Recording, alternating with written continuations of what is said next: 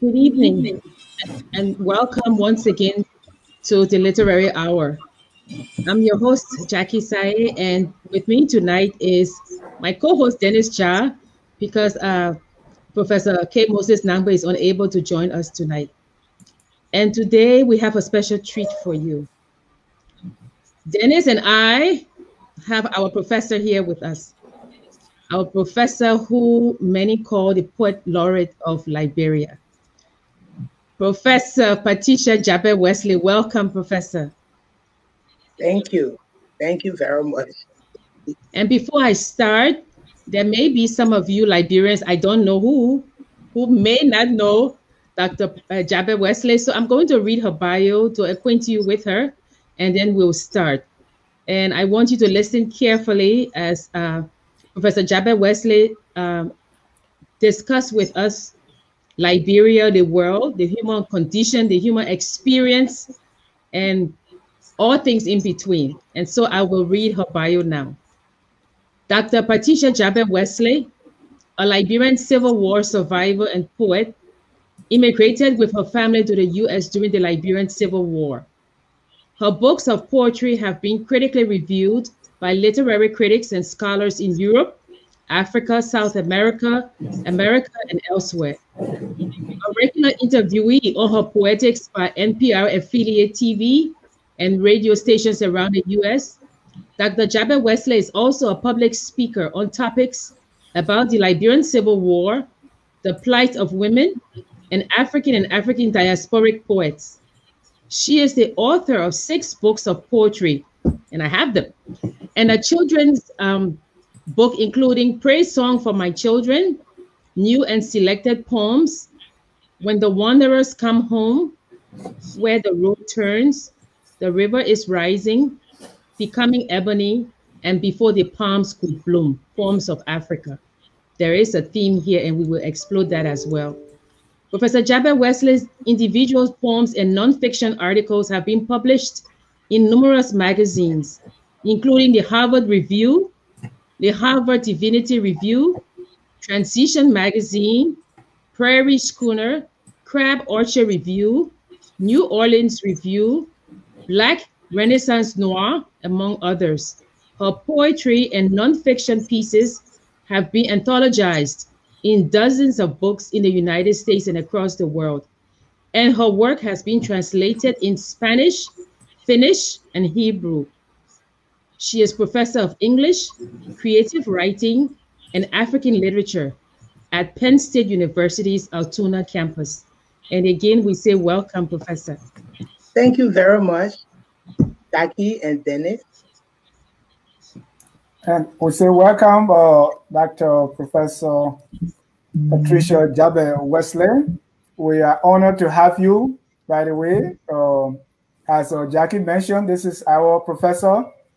She taught me English literature in high school and taught Jackie in college. And so we are happy to have you. We want to welcome all our viewers from across the globe to our literary hour. And our topic for the day is poetry and writing. Of course, we're talking to a poet. Back to you, Jackie. Yes, and and Prof, I would like to say that there are many of your students watching. Uh, uh, uh, uh and Aaron said, "I remember her." So so people are are watching. So let's get right into it, uh, Professor. Before we begin, we have to begin at the beginning. So tell us a little bit of how you got started in poetry writing or in writing. Before I tell them about my class struggles with you. I think Dennis had a worse time. uh, well, I started, I think I was a storyteller from a long time ago. And I think I got it from my mom. I'm trying to correct history because people think, you know, because my father was smart when he was in college and high school, and my mom never got a chance to go far, they always think I was like my father. But a storyteller was my mother and her family. And they are the orators, and I can see it in my brothers and in my and my uncles, you know, when they were living. I started telling stories, um, I think as a child. But I remember as a child in a village, I spent three years in my home village. Okay, well, my father sent me there. And my grandfather was very old by the time I went there in a past the mid as a little girl and on boarding school and spending most of my time with my uncles. And my father, my uncle used to, my grandfather used to always say things like, and um, he never thought he got a story until I had told my version. And and and he would tell me to tell a story after every all my cousins has talked, and he would say, No, no, I want her to tell a story. And I would be telling a story, and my, my cousins would say, In Grable, you know, that's not true. She's adding to it. and my grandfather used to say, You will know book and you will write books. I like the way you told your story because I would tell it in details like we're walking to the to the stream and then he was kicking the rock and the birds were passing. And you know, I would just put everything in it, you know, all the details.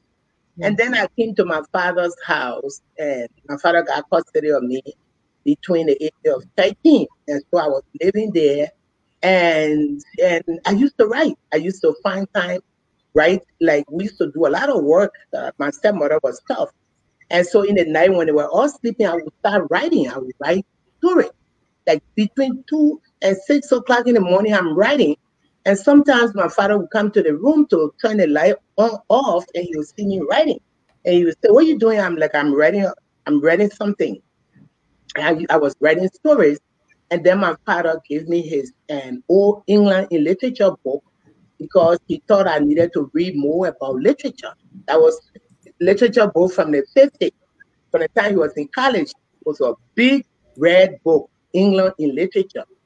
And I started reading the poems by John Donne, Elizabeth Barrett Browning, and you know, Chaucer. I started reading these people, and I loved their work and I love their poetry. And I also was reading a lot of the Psalms. I used to like the Psalms because there was poetry.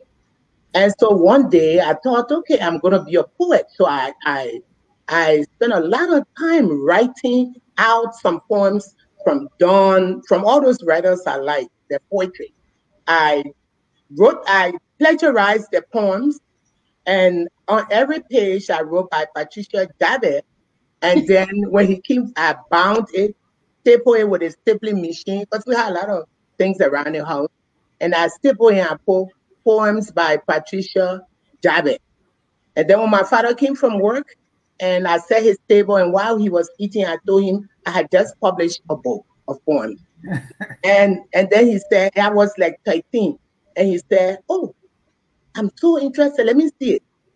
So he so he saw it, he still can read. I read the first poem. I read the second poem. My father stopped eating. You know, he was my father was a disciplinary. He said, You sure you wrote those poems? I said, Yes. And he said, You sure you wrote them? And I said, Yes. He said, If you say yes the third time, I'll whip you. Those poems are British poems. They're poems by British authors, not you. And then I said, Did you copy them from the book? I said, Yes. Then he said, That's not how you become a poet. He said, But you will be a poet today. he said, If you just sit in that corner, he gave me a pad. He said, if you don't write a poem today, I will whip you for You know the African father. I yes. started, he said, you can do better than them. If they can write that, you can write it better. So I started writing. I sat in the corner and I wrote a poem. And then I read it to my father, and and he said, You are a writer, you can be a writer. So I then I was writing now and knowing that I couldn't plagiarize, writing my own work. And when by the time I was 14, I would write until my fingers hurt. I writing short stories and poems with hand, no typewriter. So my father one day came home from work and he brought a big new electric typewriter in a box. He took it out of the box, he set me on the table, and he brought Gregg tapping book. And he said, Madam, I said, yeah, when you're ready, call me Madam. And he said, You see this thing? You got one month to learn how to type. I said, Where is the teacher? he said, You are the teacher. You will teach yourself how to type. He said, Look at my fingers. Put your fingers here, A S D F, A S D F.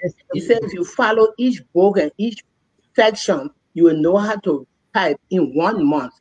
I couldn't believe it. I'm like, this man is crazy. And I can't argue with him. So I, you can't argue. Nobody could argue with my father.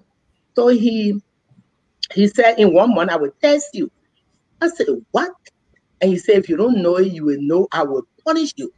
So I spent time in one month. I knew how to type. I knew how to type fast, but I didn't know how to type numbers. And so when he called me in a month, exactly a month, he said, I'm ready for the test. And then he went to the page and I said, I don't know how to type numbers yet. He said, Did you say you want to be a writer? I said, Yeah. He said, You don't want to be a mathematician. You don't need numbers. so that's how I learned how to type. Never learn how to do numbers. When I get to numbers, I have to look at the typewriter. And that was the end. And I that's when I started writing. And I wrote, I wrote from that year. I went to high school. I wrote for my the Pax's creating at CWA. I wrote stories. I wrote poems to the paper, and every every when they when they published the paper, every time the other girls I knew would be the most beautiful girls, the most popular, the most sociable, the best girl, and I was always the best poet or the best writer. That's all I was. so that's how I started writing. Yeah, it's um listening to you uh, uh, uh remind rem- reminds me of the um, quote by Ernest Hemingway, and somebody asked him, um, "How do you be a writer? How how do you become a writer?" And he said, "You take a pencil, or a pen, and you put it to paper, and you bleed." And and and I think I think that's exactly uh, uh, um, when you said that it's almost like an obsession putting pen to paper that you have to keep writing, you know, your thoughts little, on little pieces of paper and things like that until they materialize into a story. So from there, um, writing uh, stories for the, fa- uh, the Fox's newspaper and things, how did that evolve to be your first book? Which, which book? Um, how my first book came about? Yeah, yeah. Oh, but you know, oh, okay. How long was it after after you were writing these short stories? At CWA before you started actually crystallizing all of these poems into a completed volume? Oh, that took years, you know, and okay. as a woman and and women women do a lot. Okay. As a woman, and you have the challenge of uh, what you're going to be in life, What are you're going to just be, a, if you're an African woman, and no matter how brilliant you are, there are expectations on you and to get married and to have children right after you get married and and then we had the added responsibility of being responsible for the house as well so um i wrote forever i wrote um i think my first story got published by henry Carter. Um, yeah henry Carter in his little book and that was that was that's not a poem I had a poem and a story published in that book. And those are not things I'm proud of today, but I was a young girl, you know. I was practically in high school when he published that book. Okay. So, and I wrote as a child and growing up all those years, I wrote all kinds of poems. Then I have poems in books that I managed to save. Even my yearbook from college, I opened my yearbook and all over the book was poems pages. I just wrote everywhere. I used to write uh, so much so that I would burn the food. You know, we Grebo girls are taught to cook, and my stepmother would smell the food burning, and she would come. She wants to whip. One time she wanted to whip me because I burned her rice, and my father saw. And my father said, "What happened?" And I said, "I was writing a poem." And then my father picked up the poem. He started reading, and he said, "Mama, Mama, she wrote a poem." he wrote a poem. He wrote a good poem. And my stepmother couldn't read much, couldn't read and write. And so all I always used that for an excuse. If I didn't do my homework, if I told my once I told my father I was writing, he would forgive me, you know. And so that's how it was. And then when I got married, I continued to write. You know, one of the things about a writer is you write until the day you can get published.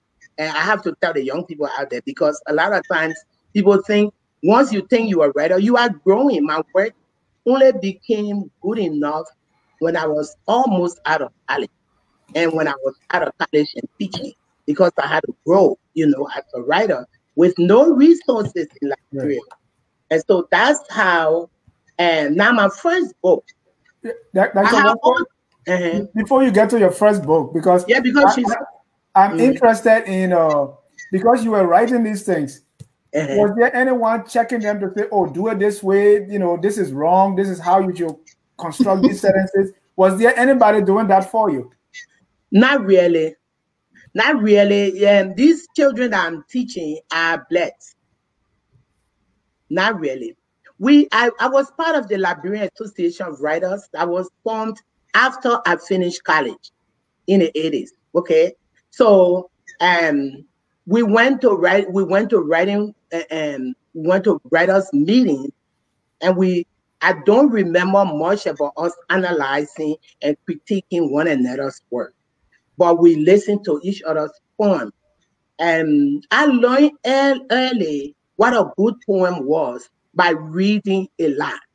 I read a lot of literature in high school. In fact, my high school librarian, Mrs. Annie Bell, Annie Blake, Annie Blake reminded me last year, she called me. Annie Blake was the librarian. I don't know whether she was when you were there, Jackie, in CWA. And I would borrow the I would borrow books we could only borrow a novel at a time. And I would read so much. So she made a bargain with me and said, Oh, little girl, it looks like you like to read. You will be somebody one day. I can work with you and have you borrow more books than you can borrow. If you promise me you will read them and bring them back. And that's how so I was reading a lot. I was reading poets, Nigerian poets, and part of studying literature in high school. So most of what I I, I knew people who were writers, and and uh, Carter, Henry Carter, and Henry yeah. Carter. Yes, he was my teacher one time, he, but he was not my English teacher. And then I had an English teacher, Mr. John Rudy, who was an American former Peace Corps. He um, used to encourage me um, to write. So the only person who always said my work was perfect was my father. he was my biggest fan until I wrote a poem. Well, he was even afterward, but one day he discovered a poem I wrote called Discipline. And and he was so mad, he took it, and I, and I lost that. He took it because he said, um, um, my father was, um, my father disciplined everything. I remember two or three lines. One line said, um, from um, my uh, the Famaka bed, the creaking chairs, my father disciplined. He disciplined everything from the children to the furniture. Yeah, the furniture. yeah. and so he said I was writing bad stuff about him, you know, but he was still my friend. That's the that's the one person. Then I had um in college, when in a Liberian Association writers, I had Mrs. Althea Mark. And she was a very much support. I remember in the 80s, she said to me, You write so well. Yeah, you will be the poet of the generation in the 1980s. So, but the 80s ended without me becoming the poet of the of the generation. So when the 80s ended, I'm like, okay, Mrs. Mark, okay, Mrs. Mark, where are you? You know, where am I now? So yeah, so I didn't have, uh, you know, besides a few people who were in a writing group with me in a writing association, who um we read each we read out loud to one another uh, in meetings, and we have and so so I grew in that company. I heard their work and I heard mine, and and for, from for some reason because I was reading authors, many authors like John Pepper Clark. I love his yes. Yes, I was reading and um Wole Soyinka's and and um, um, uh, uh, he didn't write. I always give him credit for to New York, but I think it was another author that wrote to New York. Okay, but I read a lot of these poets, you know, and I think, and I read E. E. Cummings. I used to love E. E. Cummings. I, I used to love um, um, um, some of the like Auden, W. E. Auden, who was a war poet. I was always intrigued by war poets. Yeah. D.H. Lawrence was one of Lawrence. yeah, yeah, one of my favorite.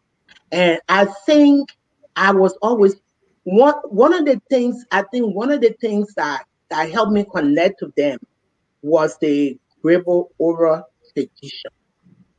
That's why I was interested in your discussion last.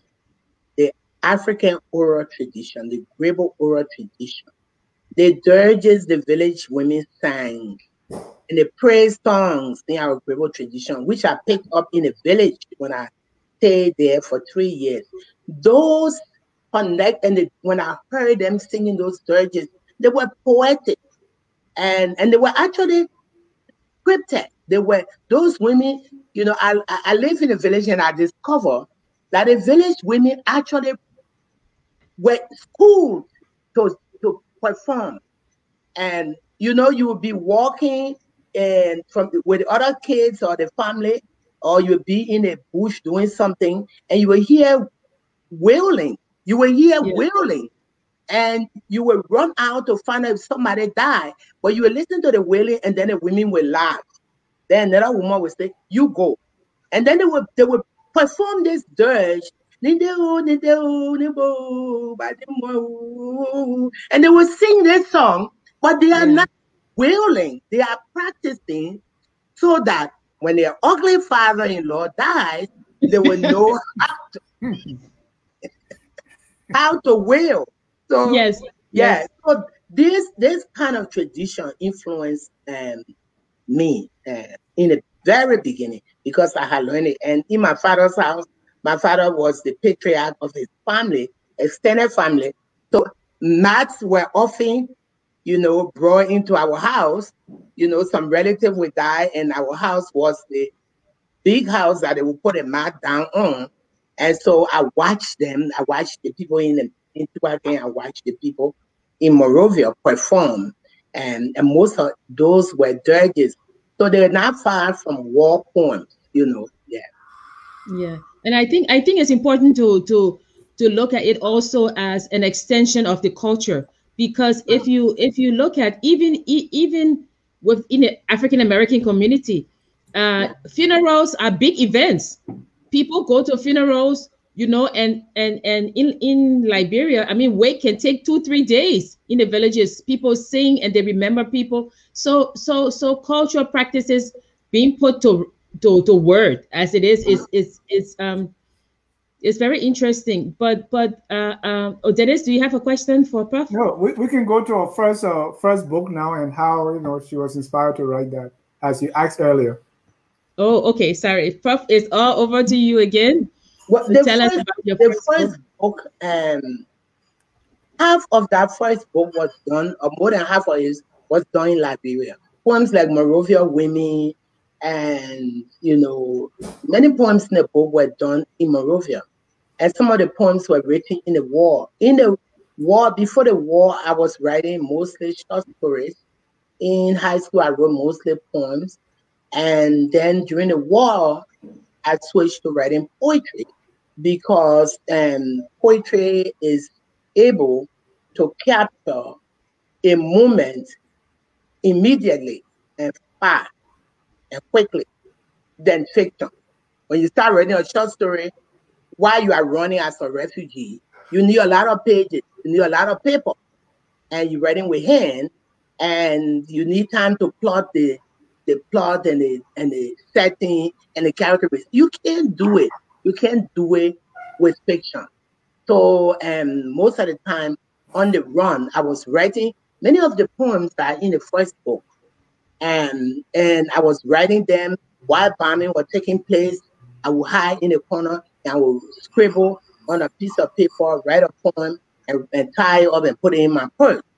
And that's how I did. And that's when I found out that poetry provides you the time, provides you uh, inspiration uh, in the urgent moment.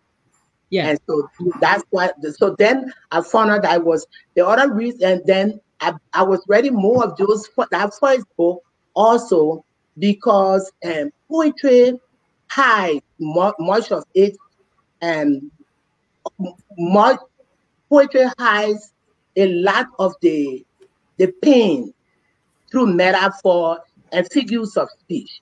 So with, with fiction, and I found it was difficult to talk about a woman being raped um, in detail without breaking my own heart. But I could do it in in poetry because poetry uses symbolism and metaphor, and, and so it's not as so the blood is not as it's not spilled the way it would be spilled in fiction. So so uh, poetry hides pain. It's able to talk about pain in brief and uh, detail, in very brief detail, and by the use of literary tools like figurative language, symbolism, and images. And so that's when I thought that poetry would do it better for me. And so I spent more time writing the poems. So by the time by the time we came to the US in the 91, I had mostly I had over 100 pages of poetry. And but there were no publication published in Liberia anyway. So and I continued to write while when we lived in Michigan. I went to poetry readings. I read on the radio. I remember my mother was here. I used to read on the radio almost every Saturday. And she would sit and listen to me read and cry. I would come home, she would still be crying. I would, that's when I wrote poems like Child Soldier and and home. I wrote a lot of poems about the war because the war was ongoing and we're getting so it was like a reportage. I was trying to capture history in my poem. I wanted Liberia's history to be registered in my poetry because Liberia doesn't have a history. So um so then I moved to we moved to Kalamazoo, Michigan, and I was trying to publish my book. My first book, I had almost 200 pages of poetry by that time, by the mid 90s. And so I sent without knowing, I hope students who want to write are listening. And a book of poems should not be longer than 100 pages. And except it is a collected poems like this one. It should it should be between 45 to 70 pages. Okay. 45 to 70 pages. So I sent 250 pages to uh, publishers in Nigeria I was in Michigan. So uh, um, Kenya, uh, in Kenya, I sent my poems all over America, the book. And I've never heard from any of those publishers except a publisher in Kenya, um, the big publisher that used to publish, uh, the East Africa publisher. So they wrote me and they said they love my poems, but they weren't publishing individual books anymore. So they wanted, but they were publishing an anthology of East African poets called uh, uh, Echoes Valley. And they wanted to publish three of my poems. Yeah, and even though I wasn't East African, they will they will accommodate a West African, only one West African poet. So they, they were my first real publisher of my poetry.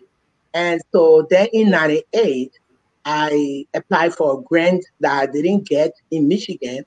And then the woman who didn't give me the grant and I met and we had a fight. She was a professor. I was not a professor. And we went into the meeting, and the first thing she said was, Who do you think you are? You always on the radio, this and that. You think you something. And I said, Is that why you didn't give me the grant? And then we had a big fight. And then she asked me for two of my poems. And she said, and she was going to give it to a poet who would call me and tell me I was a terrible poet. I needed to go to school and learn how to write poetry. I was a terrible poet. I was not a poet. That's what this woman told me. So I gave her my two poems. She went to the university and gave the two poems to Mr. Herb Scott. And he read them and he called me in less than an hour. And then he says to me, Did you write these two poems? Those poems were Monrovia Women and Homecoming. And and I said yes. And he said, if you he said these are wonderful poems. I said, but your colleagues said they are horrible poet, poems. they are a terrible poet. He said, you are a good poet if you have if you have 50 pages of such poetry, I'm coming for them. And so I said, if you serious, be at my door in one hour. He was at my door in 30 minutes. And I, I was so upset with everybody. I just grabbed my thing and pushed it 200 pages in the hand of the old man. And he took them.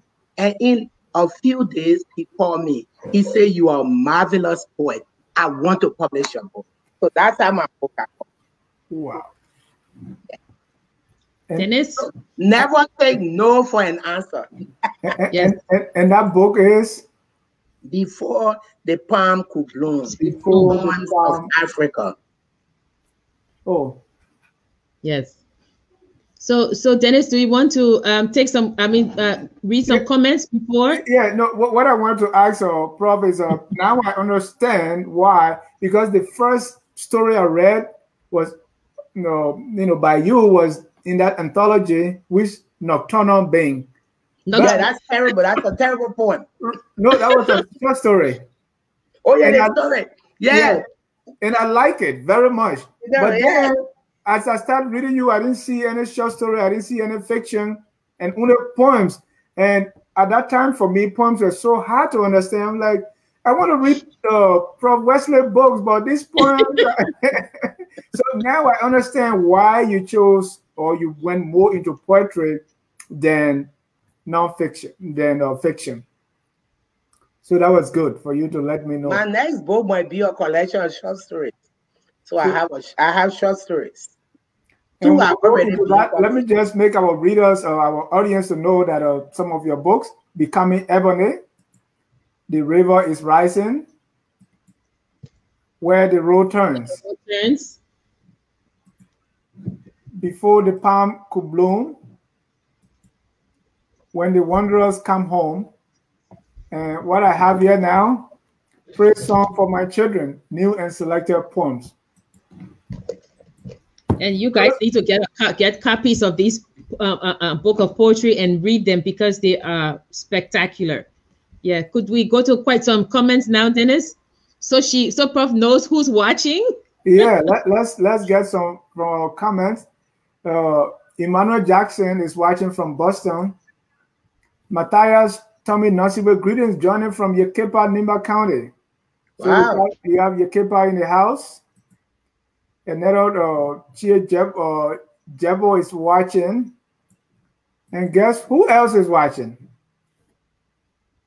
Yeah, Mrs. Mark is watching from from Switzerland. Right. So finally found the interview on Jackie Sayegh's Facebook after midnight here in Basel, Switzerland. Lovely to hear both of you. What's about me? they were, he was our professor. yes. All right. Uh, so yes, and she's getting some love here, Professor it, Alita Romeo Mark Johnny us. Thank you so much for watching. Eduardo Boss Di Basco. Yeah. Yeah. He said, thanks for this great enterprise. He, he's in Nigeria. He's oh. in he's in Ibadan. Oh wow, Ibadan. So Musu Wanglo still was a yeah, Mrs. Mark was an excellent instructor.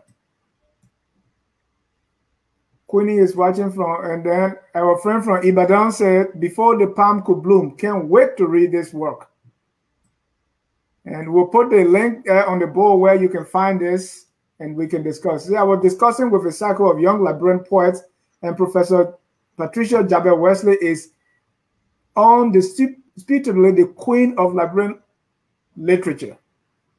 And he's telling us he's joining us from Ibadan. Yes. Those are some of the comments we have so far. Jackie? Okay, and um, uh, uh, Prof, uh, we were also discussing the different themes in your book and the topics of your book, and, and we're thinking that it's a pattern, right? That I, I think that the the titles of your books they are evolutionary. They chart, and I could be wrong, but I think they chart an evolutionary process of the country and, and experiences. Because if you look at before the palms could bloom, right? And then you became ebony, and then the river is rising, and then where the road turns. And now we've almost come full circle. Praise song for the children. What do you think? I could be wrong, but but tell me, Prof, how did you choose the titles for those You- for those You, books? you know, when I saw Jackie arrange them like that, I'm like, whoa. You know, Dennis, there is something about writing. When you're writing your nonsense, eh, you don't know that it will make sense to somebody else. It makes sense to me. you're writing your crap, you know, in your little corner. When you look, somebody thinks it's poetry. I'm not joking you. you know, before the palm could bloom, Yes. Yeah, one time I saw I got I saw Jackie's arrangement, and I'm like, oh my god, this guy is crazy. She says before the palm could bloom, the uh, uh, uh, um, becoming ebony. Okay, and then she Yes. says where the road turns. No, that the the, The river uh, is rising. the river is rising where the road turns. Okay, that's what she said. Yes. The river is Yes. rising where the road turns. And then when the wanderers come home, praise, praise songs. yes. I don't know. Yes, uh, this is what I this is what I have done. Almost um, let me see. I think every book I've written has come through a title. So before the palm could bloom, it's a poem in a book Yes. you know. And, and so um becoming ebony is a poem in a book. Yes. And and the river is rising is a poem in a it's, um, almost all of them the poem was before the book. And I think only one time where the road turned was written, and then I decided on the title. And the poem in our book is actually where the road turned, not turned. So we just changed and moved the past tense to the turn. So I think most of the time, all the poems were in a book, and then I decided to make the poems those titles without any idea there would be any order. So when There's I saw that, when I saw that order, I thought Jackie is brilliant. She is more brilliant than me.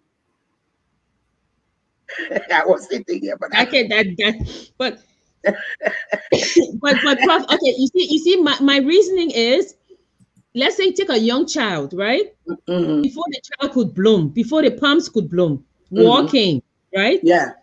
And if you look at that, the person left, let's say they came to the United States, right? Mhm. And if you look at some of those poems, in becoming ebony, you become you you're, you're coming into You your own. become You're, strong. If you read you becoming should- ebony. You should read Yeah, that and then- That poem is about Yeah. becoming strong. Yes, you know, and then So- after becoming ebony, you're looking at the river is rising because you know there are some things in the culture that you are that you get Mhm. angry. So the anger is rising, the river is rising, and then what Mhm. happened? That road turns. So you're turning now, but where are you turning? You're turning to go where? The wanderers are coming home, and then when you come home, what do you do? You have You a do praise. praise song. song. You know when you Yes. then you know that Yes, once you I have, think so. I think it makes when you come home, they start praising you and then praise songs. Yes, For my children yes. who are coming home. The children are when they came home, but now they're praising them. Oh yeah, when the wanderers Yeah. come. You praise, Yeah. yeah. That's Well, Yeah. wow. So, Yeah. so, so Jackie has uh, run a theme through all the books, and that's wonderful. She's gonna write a Yes. paper about it. She's gonna write a paper. I'm not joking. That's a challenge. Write a So- write a scholarly paper about the crazy professor you had. So, Prof, what what I mean, I mean, looking in in the future, I mean, just a question I have. What do you see? What what do you see? What's the future for Liberian writers, and and how do you see Liberian Liberian writing fitting into the into the social fabric of Liberia? Liberian writing, Liberian writers are accidental. Um, What do I mean by accidental? They happen accidentally despite Liberia. Even the writers that were writing in the 1800s, as, as I'm working on the anthology, and which I have now changed to only an anthology of poetry, and because of the weak fiction in the book, the, the, the fiction is too weak to, to get into the publishing world at this point. Um, it's too much. There's too much to do to work with them, and the, the writers are dead. You can't you can't do much without violating them. So it's going to be an anthology of poetry. When you look at the poems from the 1800s and up to this point, I would say accidental. Because the, the Liberian writers did not become career writers.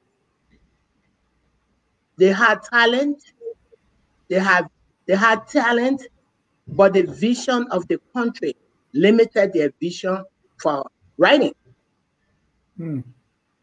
To be a writer, you have to choose a career that gives you time to write. If you're a good writer, you are a crazy person. What do I mean? You are so obsessed with writing, you burn stuff. You you writing supersedes everything. I, I, I, but you can't do it in a country where you have no food to eat, where you you have to join the government and, and have a full-time job that gives you no time to write.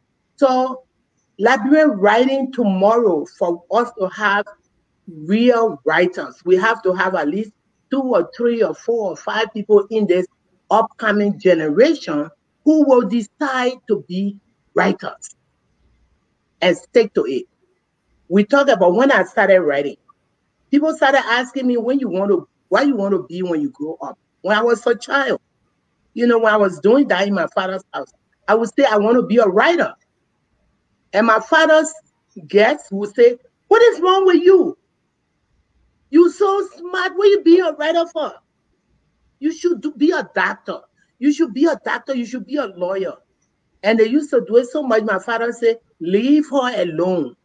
She would be anything she wants to be. What you want to be? I said, I want to be a writer. So if you decide to be a writer, you have a lot of people who will laugh at you. And then you have a lot of people who will make it difficult for you. And then you will have a country that has no place for writing. No place. No grants, no no recognition. Look at me. Look at me. I'm more recognized in other African countries than in Liberia. Let me give you an example. I was in Kenya for a conference, for a writer, for a writing festival. I didn't plan to, to speak on the radio in Kenya. I didn't know that the Kenya broadcasting system, which is the big, huge, mega broadcasting system, have talked to the director of the festival that they needed an interview with me. Well, the director of the inter, uh, festival mismanaged the entire festival and ate up our time for any kind of interview. But usually when I travel, I try to leave a day free before leaving the country, you know, because I want to recuperate before I get on the plane. So the day I had to recuperate, I I got uh, a little boy from Nigeria was, you know, a young fellow was saying to me, they wanted to interview you at, at Kenya Broadcast System. Let's go there. I said, I don't go to a station to go tell the people I'm in town. I don't do that. So there was no way he could call the station. So the Nigerian kid walked to the station in Nairobi and he told them, You know who's in town? Patricia Jabbeh Wesley. Before I knew it, the staff were coming to me, coming to my hotel. And they said, We knew you in town. We wanted to interview you. And, they, and I said, I'm leaving tomorrow. I can't do an interview tomorrow. And they put me in the schedule. They came for me, broadcast, took me for interview, and they broadcast that interview all over East Africa. And they knew who I was. If I go to Liberia, eh? and the Liberian broadcasting system, one time they had a director there in 2016 or 15 who wanted to interview me because a politician had told them they wanted to hear my voice on the radio. so he sent his big car to get me. I'm thinking, oh, Liberia is serious. I went to the station. I they made me record three hours of my reading. So they will they will they will broadcast my poem every week for for a year. Whoa. You know what they did? Huh? They dumped it in the trash. Why? Because Liberia does not know the importance of the art, literature. They do not know and they do not care. So, so that's that's that's the problem. So like the future of Liberian literature will happen accidentally. Liberian literature will, will become because young people want to write, not because they have opportunity. It's going to be maybe 20 years before when those young people grow up, hopefully they will take over, they will be part of the government, and they will remember the art. Mm. They will remember to support artists and writers and musicians. Look at the musicians that are singing. Do they have grants? Those young people could get grants, go to Ghana, go to Nigeria, and train and train so that they will know how to compose, so they will know how to make music, so they will study under musicians. You see, and also Liberian Liberian writers, Liberian young people, um, who will thrive and write have to be humble. They have to be humble. They have to understand that you don't become famous overnight. Many of us have been writing. I've been writing since I was 13. I mean, it's 60. Eh? I'm over 60 and they want to compete with me, who have been writing for the last 50 some years. And when you try so, to teach, when you try to teach them, they say, "Oh, she tried to get famous on me." You understand? So, so Dr. Wesley, what will it take? You know, because it's a. Uh, what will it take? It will yeah. take humility. It will take humility, number one. When somebody critiques your work, eh, you should give them chance to teach you. You should, and you, it, it will take humility. It will take a lot of reading. It will take people wanting. I have conducted free workshops that make me thousands, but I don't charge. But yet, I go to Liberia and I hear some people say, you got to pay the children if you want them to come to writing workshop. And I'm like, I will not pay them. I may give them food. You know, if the workshop is all day, I might provide snacks and food for them, mm. but I can't pay them to teach them. So it would take dedication. It would take people writing in spite of it. Look, when I when I got married, it was hard to write because I had a family and I had a job and I had this and I had you guys to teach. But guess what? I found time to write. I remember one day I was writing and I was changing my baby's diaper on the diaper table, and I got inspired to write a poem. So I left the baby on the diaper table. And I was writing the poem, and the baby wasn't strapped. And my husband saw it. He said, "Oh my God, this woman will kill my baby for a poem." so you have to you have to write against all odds. It doesn't mean you gotta dump your baby, but you have to find time to write, and you have to find time to learn how to write. To go to, I will find time to read. I want to read some poems. Oh yeah, yes, definitely. That's, that's, I, I, yeah. that's what we're coming to. And, um, and I was curious, even when you, even those titles. Every time I look at your book and I look at the titles of these poems, how do they come about? How really they come, they come, they come about by inspiration. Yeah, by inspiration. I, I, you, you know, uh, Prof. Two things. I mean, f- for me, I find it very sad when when people uh, saying uh, talking about Mark Twain or Walt Whitman's Leaves of Grass. You know, um, uh, works that are very that are very uh, uh, close to the, to the to the soul of America. And I always say, well, what do we have? And I think that, you know, people, you're right when you say that people are so um, they are so busy looking for their daily bread. But what the people don't understand or what they should be aware of is that you also need to feed the soul. You need to have inspiration, something to move you forward. And I think that our country do a great disservice to writers, to poets, and to people who want to elevate, you know, elevate through the arts.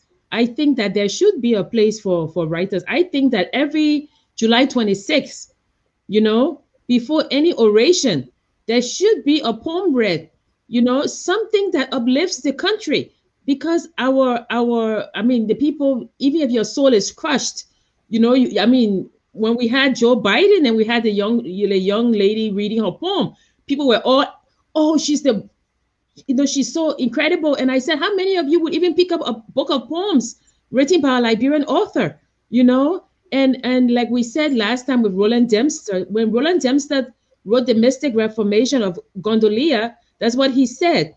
He said that this book, if it doesn't do anything, it will give lie to what people say that Liberians don't write because Liberians do write, you know, and and and, and yeah, are, don't don't Liberians don't write. Liberians they they write the writers we've produced over almost 200 years shows that like, look, if you want to be a writer, the last time I read an interview by Wilton Sankawulo, somebody interviewed him, and he was blaming the Liberian Writers Association, you are blaming the government. Blaming. A lot of our people who go into government forget forget themselves in the art. When I read that interview, I said, okay, you were interim president, you were government official in a Doe years. Did you remember us? That's the question I asked. We were writing in Liberia when Sankawulo was in a Doe government. We were writing. So if I if somebody I don't want to be a Liberian government official, I'm running away from that. But I, I told them if you give me your job, half of the time I would just be teaching people how to write and trying to get grants for Liberian writers and Liberian musicians to go to school. That's all I would be doing because we are way behind. We are way behind. The other thing is we have Liberian writers who were writing with me, who were who and I were writing together and reading each other other's poems. Those very writers, when I asked, when they gave me their work, when I critique it, it's an insult to them. I went to I went to grad school where I was in class with all white people. And I would write my poem about Africa. And they had to tear it apart and critique it. That's how you learn in grad school. You don't learn from the professor per se. Most of the time, you are learning from each other. If Liberians will allow themselves, but because of a lot of ignorance, many people will not allow themselves to learn from the best among them. They will not. They, they will they will rather talk about you and say you are this and you are that, or they will be tribalistic. But you cannot grow. You cannot grow by doing that. And the other thing the leaders have to they have to think about the future of a country that does not have a good literature. Yes. You yes. see, all, all the governments, when Ellen Johnson Sirleaf for inaugural, being inaugurated, I got a call from BBC. while I was writing the poem, The River is Rising, which has Ellen Johnson Sirleaf in it. They wanted me to talk to them, and I said, Call me back. I'm writing a poem. They said, Okay, we'll call you back so you will read that poem. So they called me back. The next day, we made arrangement. I went to Penn State uh, radio station. They did radio to radio, and I read as if I was sitting in London. Then afterwards, I saw Ellen Johnson Sirleaf's speech. She was quoting a foreign poet. Ellen Johnson Sirleaf and every president of Liberia would rather quote a foreign poet than quote a Liberian. At the same time, she had all my books. We're talking about 2000. She had, yeah, she had two books that I have already read. People gave her my books all the time. He, he quoted a foreigner. When Ted Kennedy was honoring Michael Francis, Bishop Archbishop Francis, giving him the Robert F. Kennedy Peace Award in 19 in two in 2000 in 1999 or 2000. You know who he quoted? Ted Kennedy quoted me. I didn't even know it until news people were sending me newspaper clips of that. Because Ted Kennedy knew that to be relevant to Michael Francis, who was a bishop from like West Africa and Liberia, he needed to quote a Liberian writer. Even though he didn't know me. That's what it means to be a literary person. But it, but all of this goes to, to the thing we talked about long ago, the Liberian mindset. The Liberian mindset must be liberated. That's what Blyden said. Edward Wilmot Blyden, we did him two weeks ago. Long time ago. He said yes. Then you had to. So, so, uh, uh, Prof, I will say, I will quote a poem for you that it may take another decade, but, and I quote, there will come a time. And that's one of my favorite poems. There will come a time, you know. So, so, I mean, I could, I could listen to you for 10 more hours and not get tired. But you promised me you're going to read my poem. You're going to read some of our poems, and I have every poem in a in any one of your book is my favorite. And I made a list of mine, and I I had I had 12. and then I added three more. I have 15. So I, I, I, I have some that I want you to read, but I know that you have your own. So I, I want you to read your poem that you want to read, and we can talk about the inspiration before Dennis and I gave you our list. We're not going to ask you to read all of them, but we just I want to hear. Dennis's poem he wanted me to read long time ago. Dennis. Dennis, you, you remember the poem? Yeah, that, that was when she was doing a, a some reading. What? Yeah, yeah. Oh. Oh, Dennis, you. I didn't remember the name again. Yeah, I, I no, that was that was that, that, was about death. Tubacan. Yes. Okay, listen, guys. No. Yes. You Do you want to read, read that? Is that it, Dennis? No, no let, let's go by let's let's go by what Dr. Wesley want to read first before we start okay. giving you our list. Oh, but I already I already marked the poem, so I'm gonna read. Good. It's, it's long, but I'm going to try and read it. Tubacan, a song. A rap he remember because Dennis, you ever lived, you ever spent time in a village? Yes, I did. Okay. Then you know what I'm talking about him. A ripened bread nut hits the ground at the outskirts of town. Two Tubacan boys have knit clothes, run a game. Who will be the first to find its much fruit, one of its kind, seeds scattered beneath the intermingling of giant mango, banana, and orange trees? War dancers in raffia skirts, jingling belt ankles, stomping village dust in a dusky December day. Dokla is so hard to dance when veteran dancers are in the lead. Bobella, too, here he comes. Red rag chalks and charcoal pin pasted onto his cheeks. His face a scary mask. He pulls out his tongue, stretching it into a mile about himself.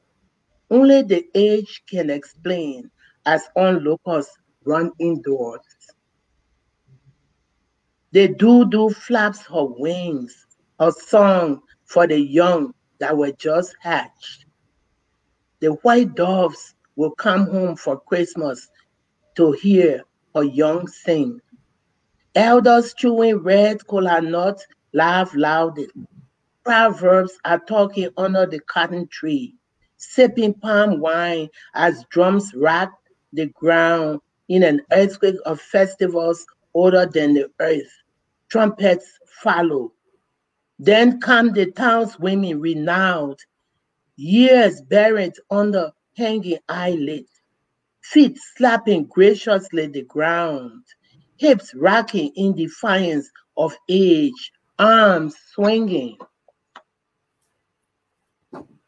These Bourgeois dancers feed dance life into this soil. We will come to town today before the town crier calls home the night. When Kwi begins singing near the outskirts of town, Kwajale will sound. Women and children will run for doors. Doors will be latched when Kwi makes his way here. The old men and the young men will find laughter again. Women will be born, will grow breasts and find men, will birth babies for men, then find age when teeth fall out.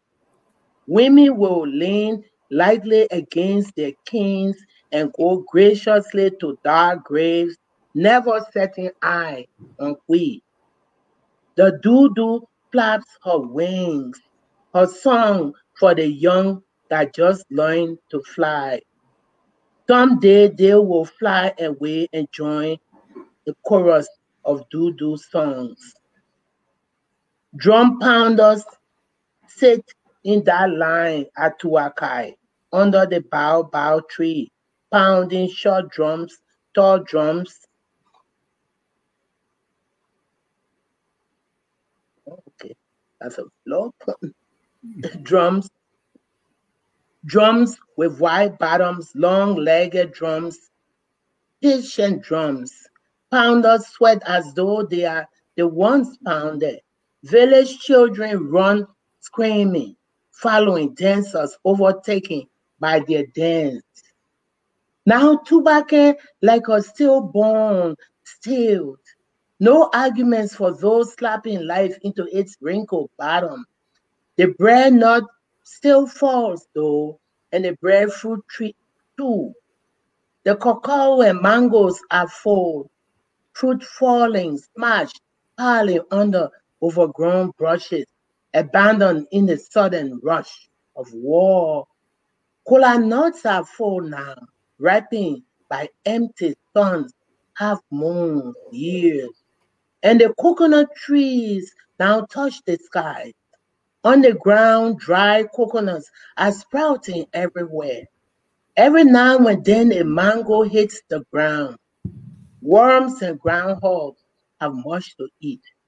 Palm branches still wave though, and the wind blows from Tugbakeh's hills. The forest has taken the street from us who used to own the forest. The doo-doo flaps her wings, her dirge for the young that were not hatched.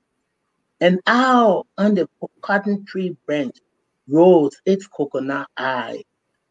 Where did the village folk go? The elders who used to drag their long kaflas on red, dusty river ground in the harvest drumming. Where did the women go? Their heads that could balance the pail of water while their arms swung or held on to infants falling out the lapa's grip on their backs. Where are the young girls who held time in the folding of their palms, chalk cheeks, tinted for village boys to see? I, with long bushy lashes, careless girl, polished face. Wow. Okay, Dennis, that's that's that's that's powerful, but that's five poems. So I have to have no, that was a long that was a long time. That was a long time, but you don't worry, I've been reading this book for three weeks now. My publisher is turning it into Audible. Mm. Audible is going to turn it into a, an Audible, and you know me, I it. I told them the only book voice that would be on it would be mine. So now I have the trouble of recording it, you know, studio on my campus. So I've been reading the poems. I'm almost done reading it, reading them. And so don't worry, I can read anything. and, and Prof, you have to start putting those poems in Grebo. They have to go in Grebo. In there, yeah. but but but so I have mine now. I, um. I, I I have I, I have I have so many. And audience, if you if you if you've read the book, and you have one that you want Prof to read, please put it in the chat.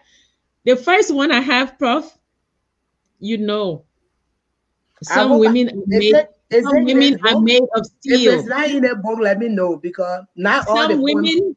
No, some it? women are made of steel. That's the. Oh, some of us are made of steel. Some of us are one. made of steel. It's a That's the first one. one. Yes. That's the, that's the one Jackie always talk about. Yes, that's my book, my poem. Come on, Prof. that's that's, that's the, the poem. All of them, like even the newspaper people, they keep talking about it. Yes. Some of us are made of steel. Some of us are made of steel. So you want me read it? Yes, please. That's one of the poems that is not. Now we didn't talk about certain things. Some of the poems are literally written in Grebo. You know, they're just English, like that. That one there, that song, that dirge that was singing is literally from the Grebo and um, rhythmic tradition. So some of the poems I write them, I'm writing them in English, but I'm taking them in Grebo. And then some of them I'm taking them in English. So some of us are made of steel is definitely very Western in its yes, you know, yes. style. Yeah. Okay. Some of us are made of steel. Some of us are made of steel. Some of us are made of twigs. Some of us break in order to stand and rise above the bend. Some of us bend and wobble and rock to the rhythm of all the scars we pick up as the roads wind us up in its hard grip and toss us up in the cold, sometimes hot air against the dashing, against the walls of life. Some of us are made of jelly, soft to the touch. But when life gives us a blow, we slide and glide, and before you know it, we've made it to the other side, away from destruction, surviving the punches only jelly could take. Some of us are made of tears, tears, tears, and we weep hard till rain falls on hardened, drought weary soil. And then the rivers swell and swell and swell because somehow life has made us cry. But in our tears, salt healing, salted and forever. We are forever. Yes, some of us are forever. No matter what you toss at us, we rise again and again and again, like that old river in my backyard at home. That river that rises, and we say, Oh, the river. And then it goes away, and we say, Oh, the swamp. Some of us are hard. Sometimes the river, sometimes the rock. I like that poem, Prof. I really like that poem. Dennis, you got that one? Poem. Yes. You are made of steel, Dennis. You are made of steel. And and, and, and I know what I'm talking. I'm not flattering. I know you. And, and, and, and when you were reading that, some are made of jelly, of twigs, and the different things. Is that a bad thing? Because from the reading, No, it's not bad. it- it's not bad. no, it's not bad. Some of us are because the jelly the jelly absorbs the shocks this jelly can absorb the shock and become stronger so no it's not it's not a bad thing it's re- i And love that break- poem and we break, so we're meant, so we survive. stronger stronger stronger in the broken places it, it reminds me of this there's on uh, there's a crack in everything that's how the light gets in Yeah, look at that. yes prof my second my my uh, i have two more Don't don't let her take the time, Dennis. I'm gonna be no, reading Dennis for had that Cornell. long poem I'm gonna be reading for Cornell, her school. yes yes next week She can But me Prof, the, there's only two more. I have one love song before the sun goes down. I Oh. like that one. it's- I wanted to read it. Yes, we Uh, you know, I Read choose I choose to sit on my couch in one of my living rooms because I wanted it to be conversational. yes. I yes. didn't want to use my room with all the bookshelves. I wanted it to be a conversation, like you sitting here, I'm sitting there. That's why I wanted it to. Yeah, that this poem I wrote it. It's about how these old men marry young girls, and and and then they the old and the girls don't want them. So I was poking fun at the African old man who's married to a young girl. I remember the first time it was published, it was published in a in Jala magazine, the Journal of African Literature. So the editor asked me for poems many years ago, and I gave him this poem, and he published it with other poems of mine. Then we went to the ALA African Literature Association meeting, and then he saw me, and all the guys gang up on me, and then like, "You rascal, Af- you rascal Liberian Liberian poet! Look at what you wrote to you." It's just it's it's I, I like it because it's funny, but yeah, I like that. Love song before the sun goes down. I'm afraid of losing you, Titi, my love. Your laughing eyes now so cold. Even when the gape of your front teeth still tingles my heart while you grow cold. When the sun goes down on my heart, and there are no more children singing under the moonlight. And the village boys come out with their sleeping eyes. Titi, do not let your heart wander from me. Oh. I grow old, Titi, I grow old. But my love for you, Titi, my love sits fresh like pebbles in the stream where the lover escaping his lover's flames was drowned in a stream so shallow. But the lover escaping the flames of his lover was still drowned face down. He was found lying face down. Titi, my beautiful dark skinned bride. Is it not youth that you seek, Titi, my bride? Is it not the horn blower that you want, Titi? I am still the horn blower who fell for you at the onset of not just your youth. I am still the horn blower that you loved with the love of fresh dewdrops. Do not let the fire grow dim, Titi, my love. Do not let the timbers burn themselves out on this old love. Titi, oh Titi, my beautiful long-haired bride. I like it, bro. Yo, I like That- it. that, that is that is not funny. No, no, I just like it. I I, I Yeah, like it. thi- This old man is crying for Titi, and you like it, and you know Titi is going. yeah I, I like i like so so prof um uh um one one of the one of the um, poems that you wrote was about they kill a black man in brooklyn today and and and i read it and i felt very sad and i wanted to ask um did you write it when right away when you heard it or how, how do you go about writing this poem because it's a very sad but reflective poem and i would I like to know it. I wrote it as the news was happening. okay yeah like you said the urgency in the in the urgency of the time okay yeah i I wrote I, it. I wrote it. You know, and when I told my students, I went after I wrote a poem.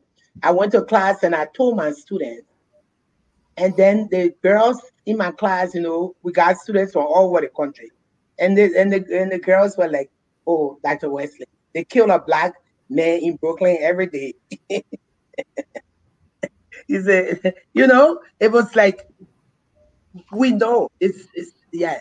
I wrote it. Mm. I had just moved my son to Brooklyn, and it was near the area he lived that this young man who has um who is who has difficulty of learning you know you had problems. He's not quite there. And he was carrying an old pipe pipe. And they, they demanded he put it down. Innocent thing he was doing. That's an old pipe in his hand and they shot him. Hmm. and he was disabled. He was either he had down syndrome or he was disabled and they killed him mm. and I didn't know. And I was calling my son, and he was not picking up the phone. And and I even after I wrote the poem, then he called me from his office. And no, then I called his office. And no, then he called me, and then I called his office to tell him that I had found him. And all the girls there were like, Yeah, you know, he had just started working in New York. Yeah, moved there. Yeah, so that's how I wrote. it. When I wrote. I when I wrote that poem, the first place I read it was in Pittsburgh. I read it for a um, a, a reading series that takes place in the summer, coming with, and there were only one other black woman and me and my husband in the room. They were all white people, and I remember the black woman was shocked that somebody was this bold reading the poem in a gathering of almost all white people. And she was shocked. You could see the shock on her face. Hmm. And then a few days after I read the poem, a black boy was running in Pittsburgh, young boy, 18 year old, and the police chased him and killed him and shot him just a few days after. Then I read it again in February because it's a newer poem, February of 19. 19. I read it for my school's big program we had. And my chancellor was crying when I read that poem. People were cheering. And then one month after that, you know, you think it can't happen in your town. One month after that, the police in our university town, State College, killed the son of one of our best friends and colleagues, Penn State Yes, professor. yes.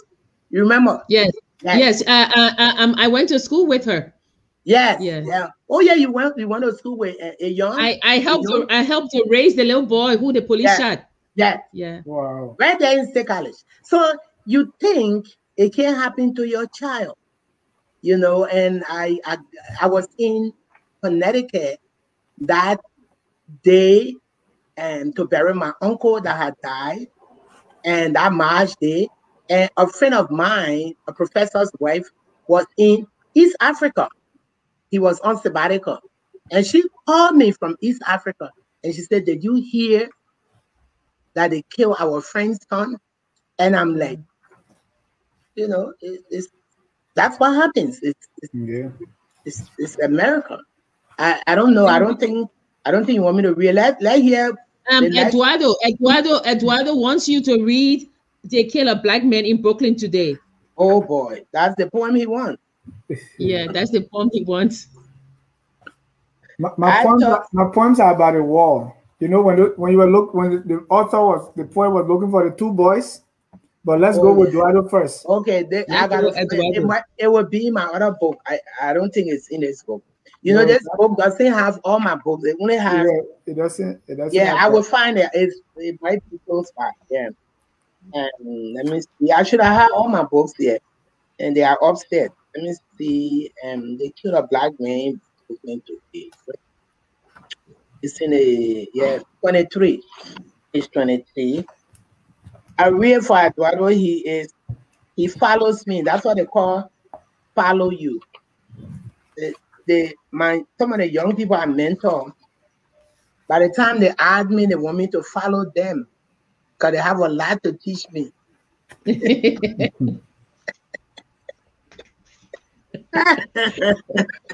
but, but, but he follows me. So let me read.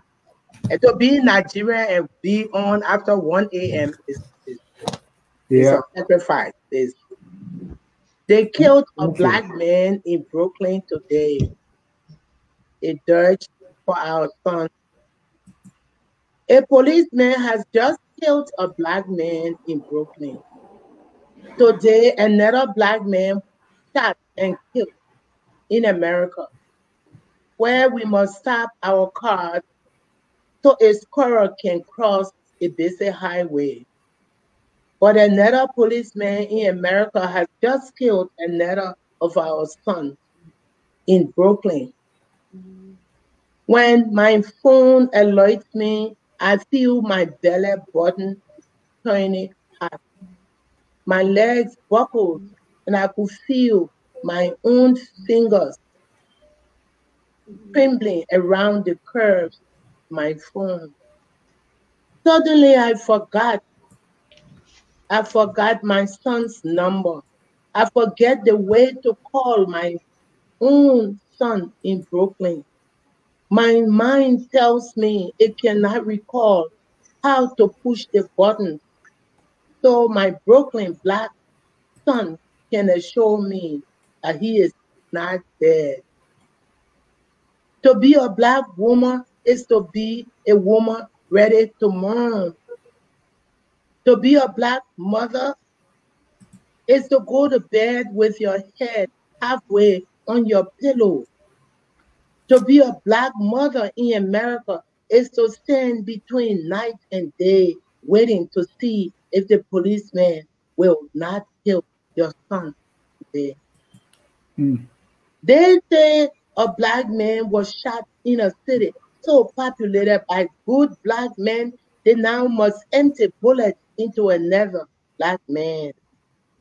They say a policeman in Brooklyn has decided to shoot a black man because there was a suspect on the run, or because he was holding up something, or because he was taking something out of his own pocket, or because he was just a black man. There should be no black men in Brooklyn if there is a suspect on the run. There should be no black men in America where there is a suspect on the run. When my phone finally remembers its own number, my son's voice on the line sounds like I have won the lottery. But somewhere another, a mother has just lost her son in Brooklyn. A mother who gave birth to her son is wailing because there was a suspect on the run. Today, I saved the life of a scary dog that ran across my neighborhood road as if it knew the sound of tires, the sound of a passing car, the sound of death the sound a gun makes before it kills a black man, before it kills a black man in Brooklyn. But they say we must not come. And they say we do not come. One black man was killed today in Brooklyn, but on TV, there is no news. There is no news of the black man killed in Brooklyn.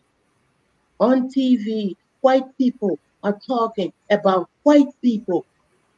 But somewhere all over America, a black man will be shot the way a black man was shot in Brooklyn.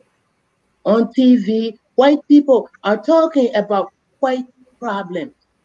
Why a black man swallows a bullet? Why a black a bullet swallows the life of a black man in America? I tell my friends I'm the only poet who cannot read her own poems. so, Prof, um, sorry, uh, Dennis, yeah. one more, Prof, why you have the book? Um, uh, Ayuba Toure. Dennis. No, no, no, no, no, no, no. Ayuba, Ayuba Toure wants you to read the poem that has won a lot of awards one day, and one oh, day is on page is on page eighty four. Ayuba, so, you for being on, but are you getting divorced now? you haven't got married yet.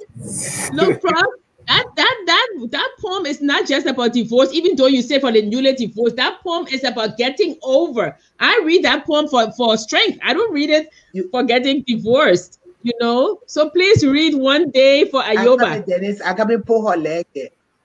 There all the people's favorite poems that her favorite poem oh, anyway she said all the poems no no no that's what she said ayoba One day, page 84. Okay. Let me tell you, the first time that poem made notice in America was in 2000, I think 2011.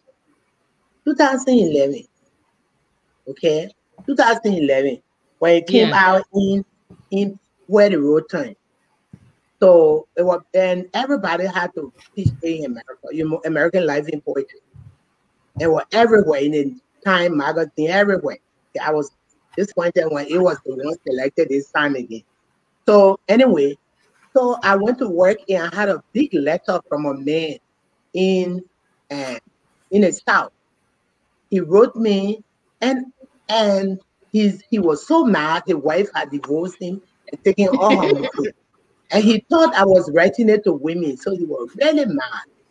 So he became my friend. He kept calling me asking me, one older man, he was like 75, look at asking me for advice, how to move on like the tree or something, you know, like the tree that the, the tree that was not fell or something like that. Yes, you yes, know? the tree that was not fell. I, am in trouble, yes. So that point gets and, me. And Prof, before you read it, I would like to say to you, Ayoba says that her mother experienced divorce, right? His mother. But listen, okay, his, his mother. mother, but Eduardo Eduardo said that one of his favorite poems, and G Play says that one of his favorite poems. So that's not me. Please read their poems. Thank you, guys. Thank you for being on. I am very. uh, G, Play G Play is is a Clevo boy. You know, he's one of our children, and Yoba is one of my sons like Eduardo, you know, these are these are our children, you know, but not Jipley, not Jipley, I turn to you back. But Jipley that my brother from um, Maryland. Okay. I won't get in trouble yet. Okay. And Mr. Jipley from right down there. Love, oh, where is it? 84. Oh, 84. Okay. I almost reread Love Song again. 84, yeah. One day. Ooh. Okay. Ooh, one day, love song for the newly divorced.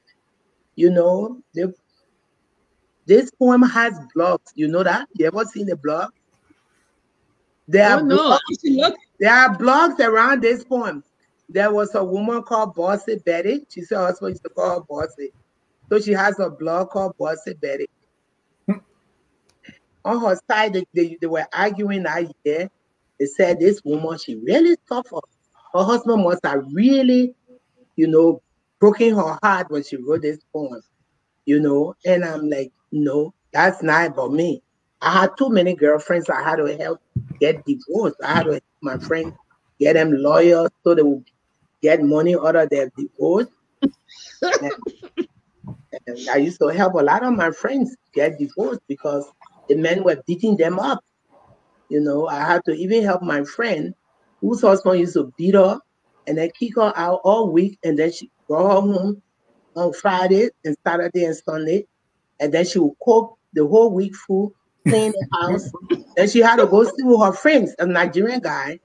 And so when people told me, I called her and she was like, and sister, don't talk to him. I said, we're gonna fix him. So I said, you know what you do? Um, fix the food when he comes home, let him eat, then you start argument. You know, I called it, I called it the crisis management people because she was homeless. And she had a one-year-old and three two other toddlers, three other toddlers, you know. So I say, you gotta have a place to live. You can't be sleeping around. So guess what? I said when he come home, started argument, and scream and do everything. Let him start beating you. Then you run in the bathroom and call 911. and she did that. When we looked, the police rescued her and they were able to help her get a place to live instead of being kicked out of her house. You know, mm. the African way, we can bring African way in America. So one day is is inspired by all these women, African women who are struggling with their marriages and people who trying to treat them like they in Africa. One day, love song for the newly divorced. One day you will awake from your covering, and that heart of yours will be totally mended. And there will be no more burning within. The owl calling in the setting of the sun and the dear path all erased. And there will be no more need for love or lovers or fears of losing lovers. And there will be no more burning timbers with which to light a new fire. And there will be no more husbands or people related to husbands. And there will be no more tears or reason to shed your tears. You will be as mended as the bridge the working crew have just reopened. The thick air will be vanquished with the tide, and the river that was corrupted by lies will be cleansed totally and free. And the rooster will call in the setting sun, and the sun will beckon homeward, hiding behind the one tree that was not felt. That's my favorite phrase. The one tree that was not felt. I like that. So Dennis? Yes. So you have one poem. I have I have one that I think we can close it with when Professor Professor is ready. But what's yours? When I get to heaven, I like to think about heaven. Oh, okay. I don't I don't I don't think I have it here. no, it's on two two hundred four page. In this book? Yeah. Oh, we got it, Prof. We got this book. thank goodness, you know. You, okay, that's that's the that's the that's the first. That, that's oh, that's almost the end of the book. Yeah, I didn't take a lot of poems from this book. Okay, this. And I want to know why you will do all that when you get to heaven at the end. One time I found this poem on a blog I cried. There was this little girl who had died. I think she was 20. And her parents dedicated the poem to her and used it to start up. Her. And then I read about this child who had this white girl who went went and abroad to Africa and did a lot of stuff. And then she had died. And her parents said this poem gave them hope of what will happen when they meet her and when she got in heaven, what she did. And you know, you don't know the people, so I just went and said, you know, your um, your blog moved me, you know, and the fact that they had a blog and about their daughter who had given so much of her life at such a young age had died, and and this poem was there. So I, so that's that's that that's I don't usually read this poem much, but I used to read it before. Why I wrote it is because of all the lies that missionaries taught our people. That and in, in when I was a kid on a mission, you, they couldn't pound the drum. They had not done that from for over two two three decades before my time. During my father's time, the Pentecostal missionaries declared that all our instruments were of the devil and they were evil. Yeah. And we're not, and every all our instruments. And then they started bringing our people to America, probably in the 60s. And then our people saw that the same guitar and piano that they use in the bar and the thing are the same ones they mm. use in church. And that these missionaries were lying to our people. And, and so in, in today and before the long before the war, the churches removed that and started playing the drums and our instruments. And our instruments were not of the devil. And so that's why I wrote this poem. I wrote this poem from the inspiration of people putting our culture down. When I get to heaven, mm. when I get to heaven, I'm going to shout hallelujah all over the place. Dancing the dog the wai, the ballet, the rock and roll. I'll dance the break, the rap, hip hop, all the dances only sinners have danced. I'll sing opera, the African way. Dance the ballet, the African. When I get to heaven, I'll pray so loud, shaking hands, the white way, the black way, greeting with kola nuts as the Grebos do. I'll lie prostrate to greet the Yoruba way, snap fingers to greet as Liberians do. There will be no boundaries, no laws, no rules. When I get to heaven, I'll sing the blues and dance the sumo. I'll paint my face with white chalk and red rock. Sit with missionaries so all can see. I'll pound my drums, shaking my sasa, blowing my trumpet the African way, dancing to Jesus, the African.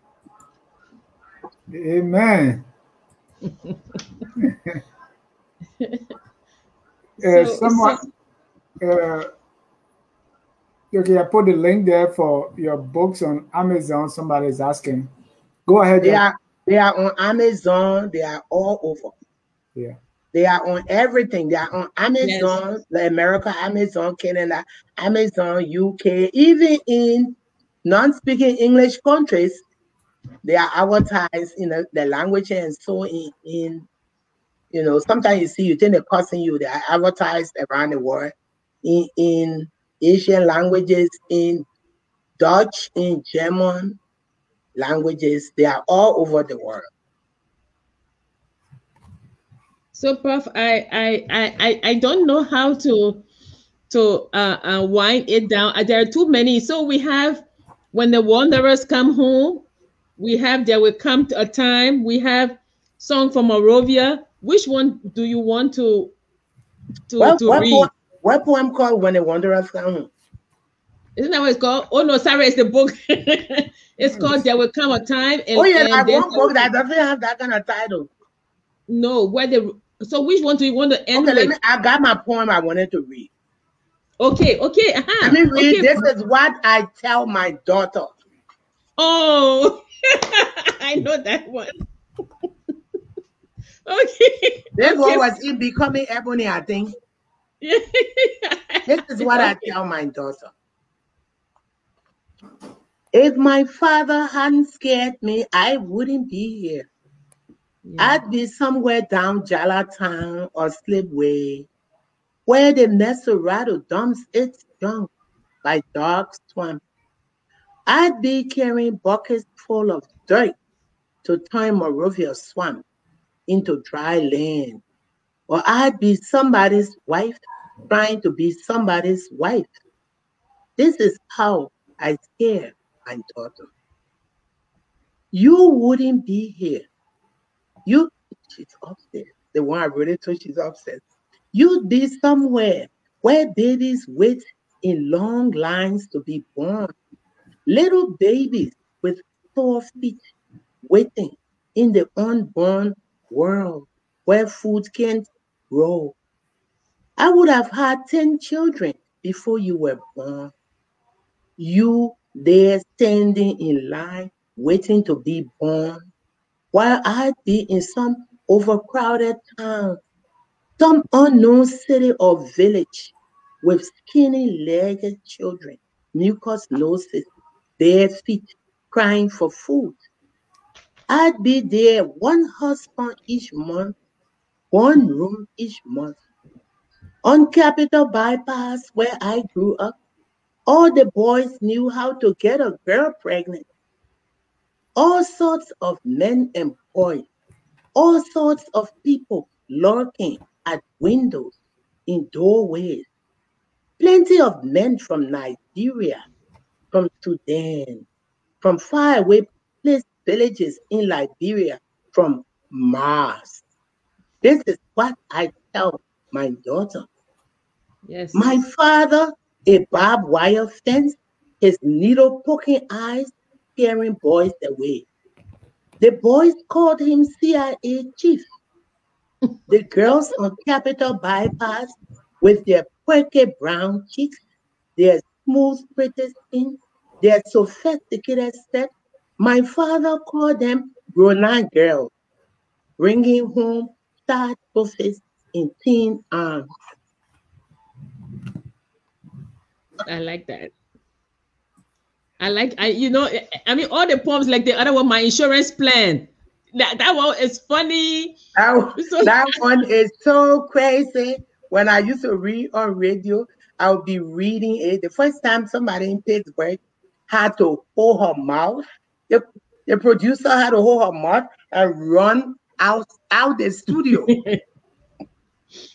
she read because she didn't want to laugh. I'm like, my new insurance plan. My new insurance plan. So, Prof, okay, Dennis, what Dennis one now? No, because I want you to read uh, one poem on the wall. So let's stay in this book because we don't want. I like that. Dennis, you don't you you don't want people to be sad. So the other poem by by popular demand is mm. "When I Get to Heaven." Why, right? We just did. Oh, okay. Oh, sorry. yeah. Tell them they, they gotta pay me if I if I have to read. I have to read. Yeah. Let me read minority. Y'all in America, they call you minority. I, remember reading, I was reading, they were honoring me in Liberia, and the room was full of all Liberian, big shots and Liberians. And then there were a few white people there. So I greeted everybody and said, I say I want to say hi to the minority. I said, I want to say hi to you, minority. One, two, three. let me read. Let me read minority. They, you know, I don't use the word minority. I don't use it because minority means minor, unimportant, less, little, nothing, and that's the American term for us. Black people and brown people, they call us minority. You put us together, we are not minority, we're in the majority. Minority. I wrote it very early in the 90s when we came. Minority. At home, I am a Jabbeh. Jabbeh Cho, married to Sio Pano. Now a Wesley. A Tobo from Baplibo. Pano. Chidawa, you know, Jiraje, Body Line. A tour from Tugbakeh a wine lineage where the Jabbehs have their place in the history of the Grebo people. I am Grebo. The Grebos coming down the Grebo forest, sticking the coastline. The Grebos of the Global War, the Grebo wars against American Liberian dominion. At whom I am not only Grebo, a Marylander of Marylanders. I have never before stumbled my way into history. I come from where the Atlantic refuses to sleep, where the forest never turns yellow, where the waters run wild cold, where the brook sing a melody to the sea, where the Cavalla rushes to greet the ocean with cola nuts and spiced pepper. Maryland, where Kipamos borrows land to the sea, stretching its arm to greet the sea.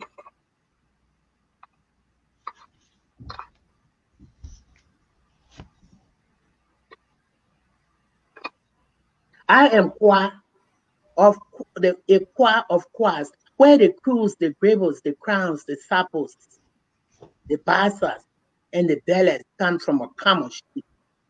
We are a people of all peoples. Our lines run deep, deeper than the soil that meets the waters across West Africa.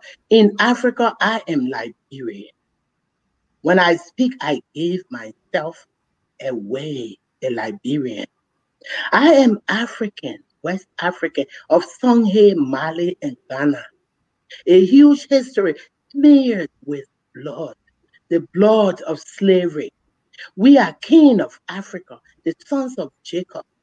Having sold our king to Egypt, we've come to meet them. Yes, they are our king.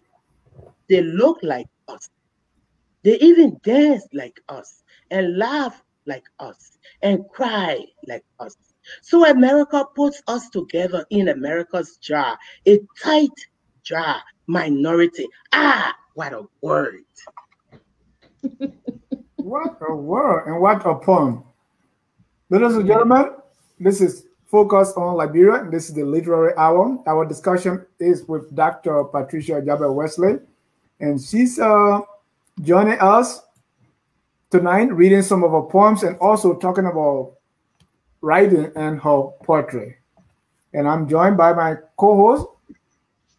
I call her Professor Jackie Sayegh, but she doesn't like. So, we have one professor here today, and that's Professor Patricia Jabbeh Wesley. Look, uh, Dennis, we have to start finding uh, your other poem because people people keep listing poems, and Prof will yeah. be here all night if we have to. So three more poems, and then I Prof will have to. Bill. I will say the bill. No, don't worry.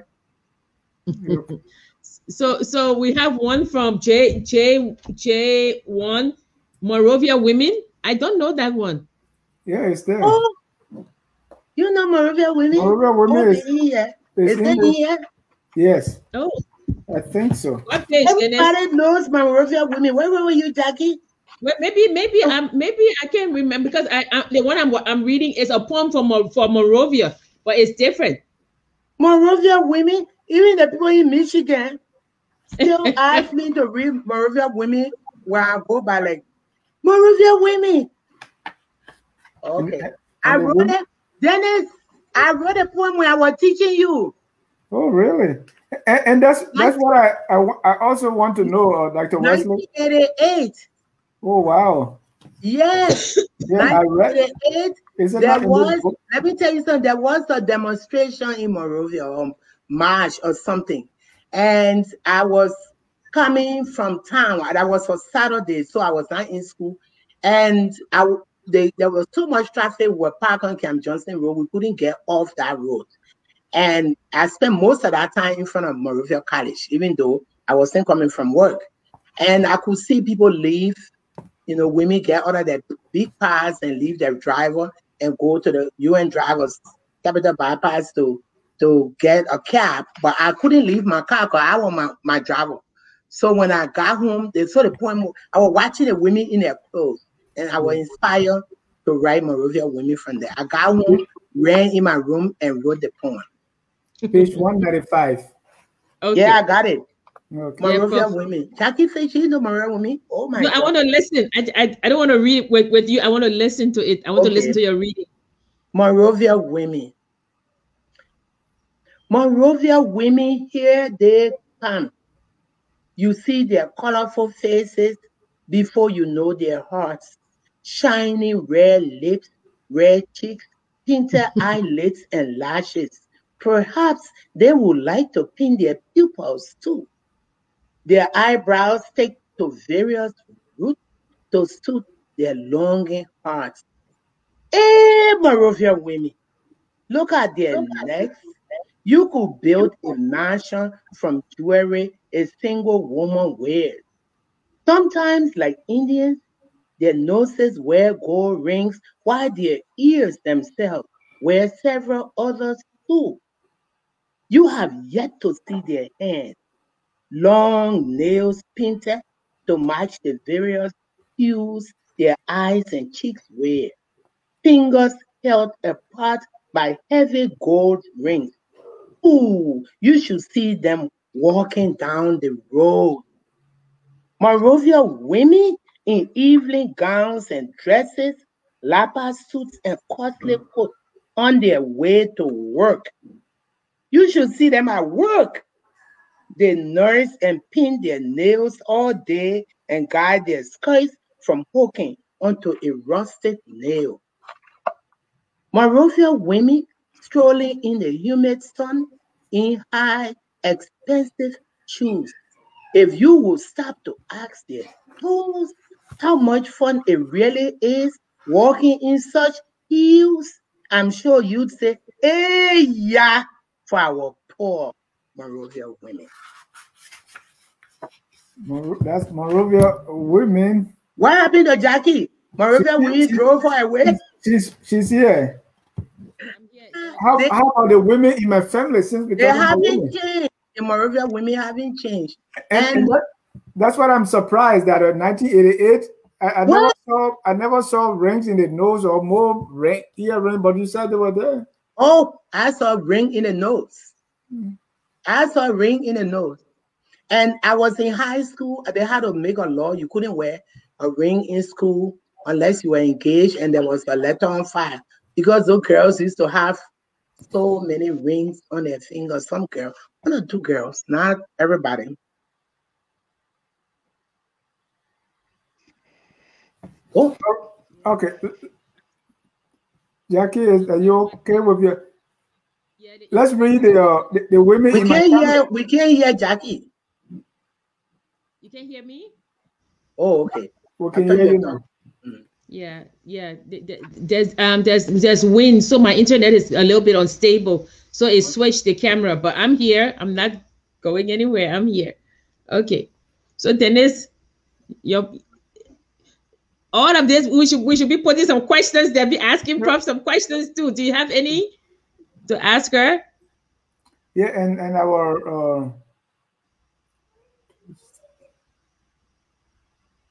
so do, do you do you see any uh, because you started writing like this one is 1988 till now. So if you look if you look over your poem, what, what do you see? Is there like a a change? Is there anything you look back on and say, hmm, or Oh, Are that's a, that's that a pattern? Yeah, that's a very good question. Um, yes, um, you can see uh, when you see Tugbakeh and you see Moravian women. Um, when I first started writing, um, when I was writing from my African, I still write from the African sensibility, but I was writing with the African rhythm and stuff. And I was writing very traditional poems about traditional culture, our culture. And then as I as I wrote, becoming ebony became a little different. And then I play with uh, couplets in becoming ebony because an American poet was studying Marie Howe, and I have a whole book of just couplets, unofficial couplets. So that book from that book's time, I wrote a lot of couplets, and and for becoming ebony and and the river is rising. And then when I got to where the road turns, I moved away from that couplet a little bit. And so my, my poetry began to take on more American influences and and and even though and then in when the wanderers come home, I spent five months in Liberia. And I was working on a different book, but during that time I wrote when the wanderers come home, I didn't even know I was writing the book. I just wrote poems about, I was shocked. That was my first cultural shock after the war because I stayed in Monrovia for five months. Usually I go to Monrovia and stay. I went to Monrovia in 2008 and I went to Monrovia in 2009, 10, 11, 12. But in 13 was the only time I stayed more than one month. I stayed five months. And those five months impressed themselves so much on me that I wrote a book. I wrote an, almost the entire book during the five months. And I didn't know it was a book. I was just writing because when you are culturally sharp, so I haven't even read those poems, any those poems from when the wanderers come home because that's when I wrote um, poems about people dying and they sent me some black clothes and all those. And so my poetry was heavily influenced by the anger. And in that poem, you will see me talking a lot about how the termites have eaten up the land. The termites are eating up our lives. And termites literally eat things in in in Congo town. And my house I left there, termites are eating doors and this and that. But the termites in the poem were the political termites. They were metaphorically referring to the politicians. So our that book is a little different. And then the latest book, the, the, when you look at this new book, if you look at the first section of the book, is different. The first section of the book has returned to the, the way um the way before the palms could bloom is. It has returned to that old uh, agreeable musical rhythm, musical style. Why? For the first time in 40 years, I went back to Kipamos by road. I didn't know the impact of the, the influence. Went back by road and and went through the different villages, Nimba villages, Zwedru villages, went through the villages going in the rugged roads. And, and then I realized that I was impacted by the culture of the people that I interacted with. And, I, and then I went to Kipamos and went to my home village for the first time. In, that was 2016. And went to my husband's home village and interacted with the culture and the, and then I wrote this section of the book and found out that it was heavily influenced. So this new book, the first section, those are the new poems. I yes. just like the poems in Before the Palm Could Bloom. And I didn't know that until I began to read the poem and realize they were heavily influenced, except the poems that I wrote before I went to the Palmers. Um, but the poems even the the the the, the, the, the title poem, Praise Song for My Children, was heavily influenced by that. And in fact, the poem Fire and Rain, and I wrote for my father, and, and it's also influenced by that. And so that's what happened. And so my poems evolve, but they go back and forth. The thing I'm hoping that I can do in net, in another book um, is to see if I can play with tighter lines and um, small poems. You know, I'm not. Uh, I think I have too much inspiration to write um, more tight poems. I used to write three three poems that relate, and if I had too much inspiration, why I probably forgot that now. Yeah.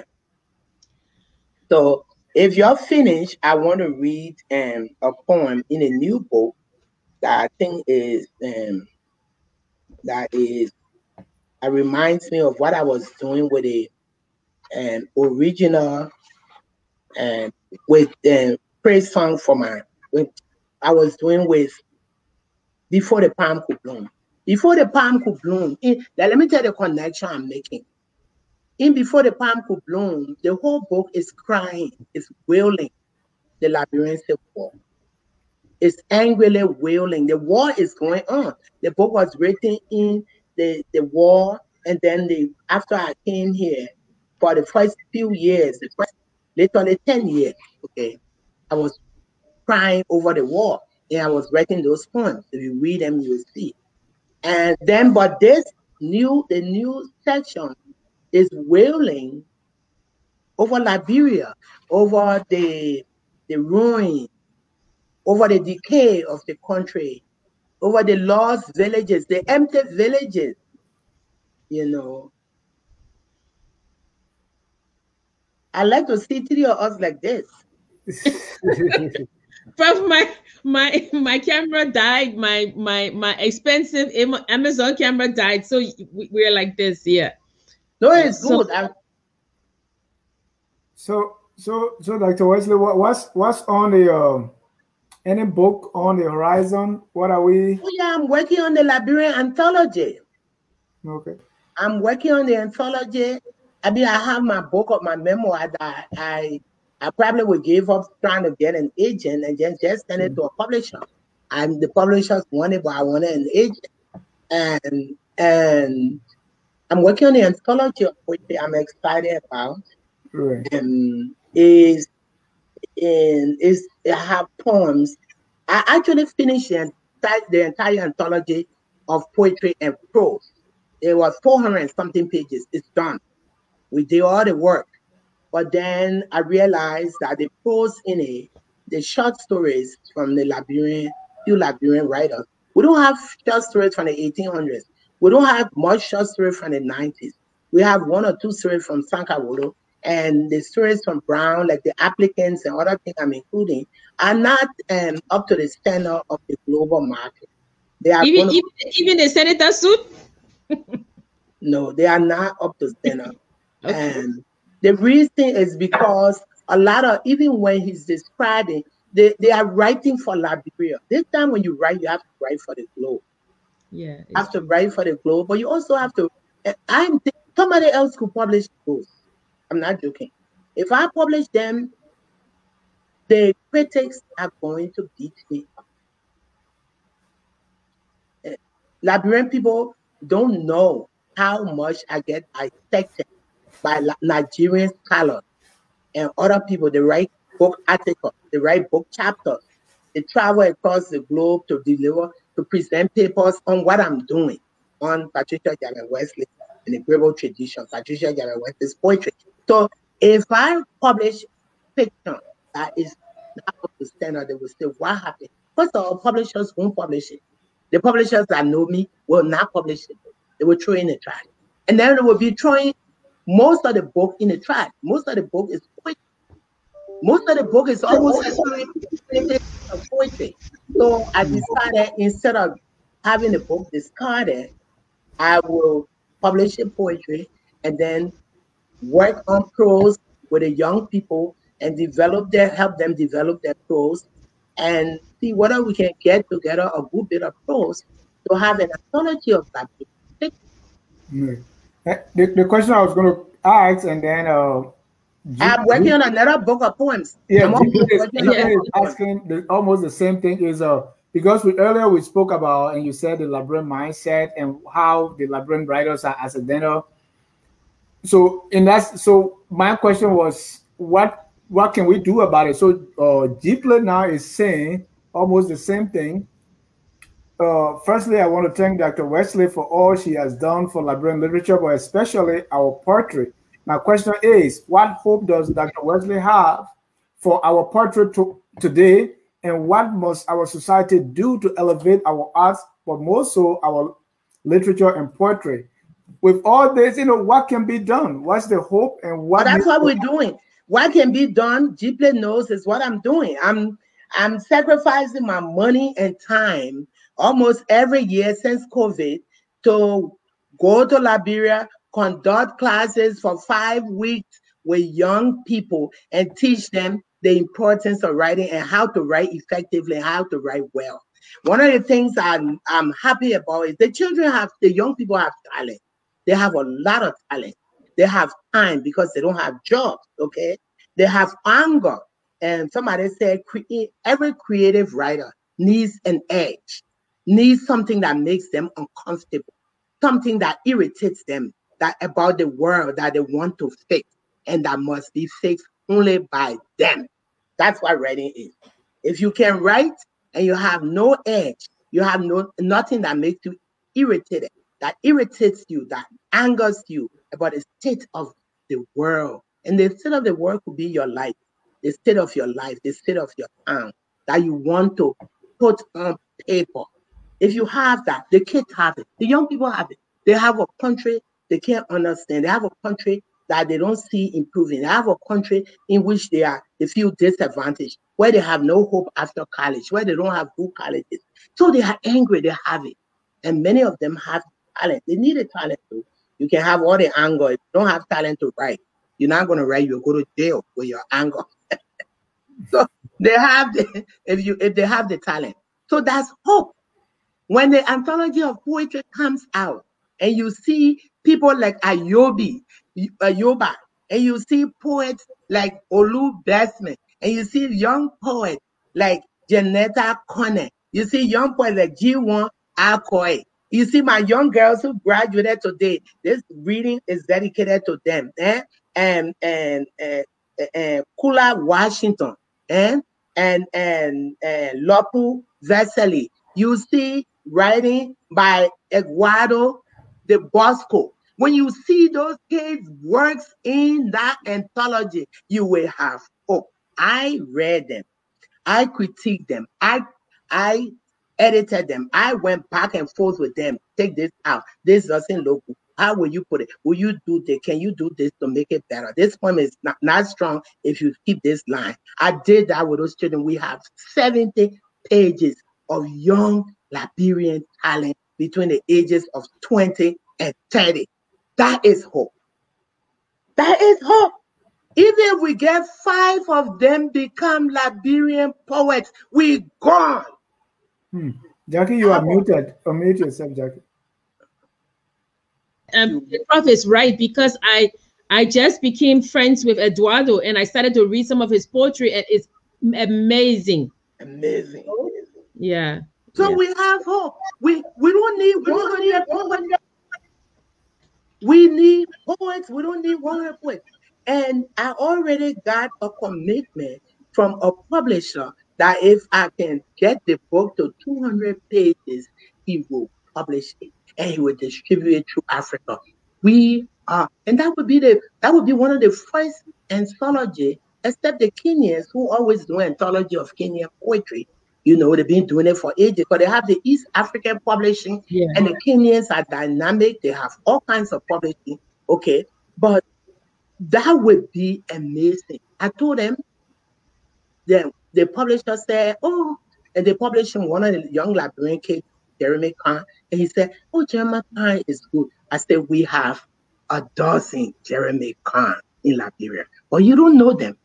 If you publish this book, you will get to know them. And maybe you can publish their works too. I said, we have Ayoba, we have Olu Best, and we have our young people. They need to be published widely. So I'm not doing it for me. I, if I wrote a book of poems today, it will be published. It will publish. I will ask for it. Uh, you couldn't ask me how I get my books published. I have never. The only book I submitted to be published was Becoming Ebony. Becoming Ebony was my dissertation.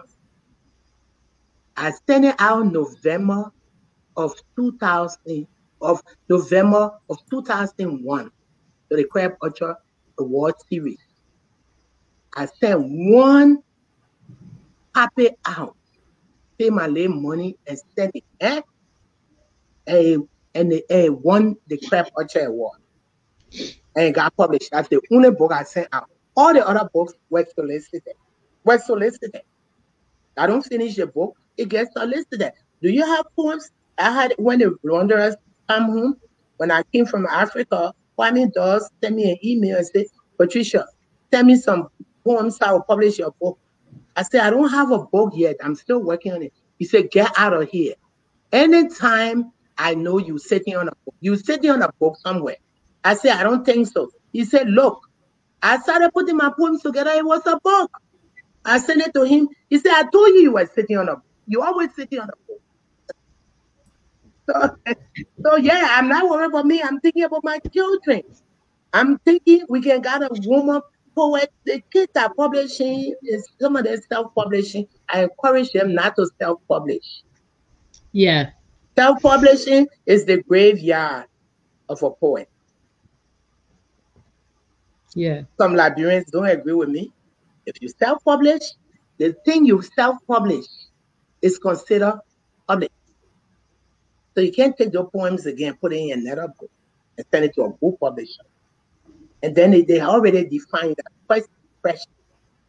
You are editing your own book. It's like a doctor doing surgery on himself, diagnose himself, and say he's doing heart surgery on himself. You ever seen a doctor do heart surgery? no. Okay. Well, I think we're coming to end this thing. Or you can bring me.